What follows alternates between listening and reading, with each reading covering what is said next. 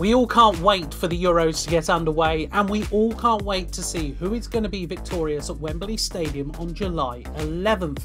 Now, we at The Analyst cannot be definitive about who exactly is going to win, but thanks to our friends in the Stats Perform AI team, we can at least give you some numerical advice as to the most likeliest of outcomes. So, drumroll please, as we reveal our Euro 2020 predictive model.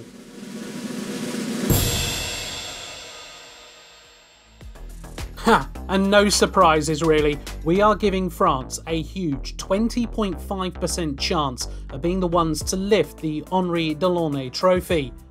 They are attempting to become just the fourth side to win back to back World Cup and European Championship, repeating the feat they actually achieved in 1998 and 2000 when Didier Deschamps was part of the squad. Victory here, and he becomes the first to win the World Cup and the European Championship as both a player and a manager. If it isn't going to be Les Bleus, then maybe this is the time for Belgium to shine.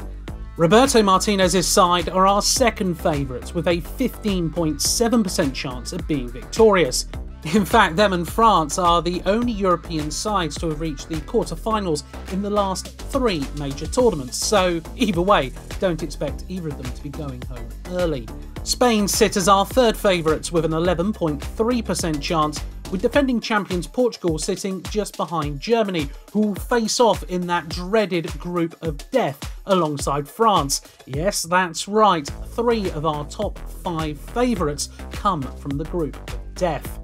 Unfortunately for England fans, you have got to look a little bit further down the list, even below the likes of Denmark, as our model gives the Three Lions just a 5.2% chance of winning.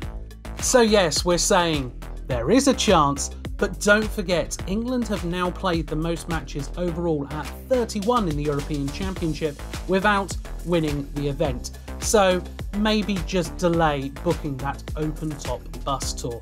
Anyway, head over to theanalyst.com right now where you can read loads more of great content heading into the European Championship.